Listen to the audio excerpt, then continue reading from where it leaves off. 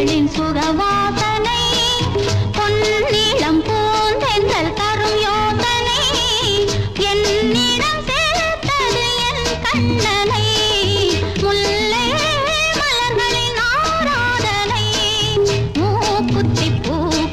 சுக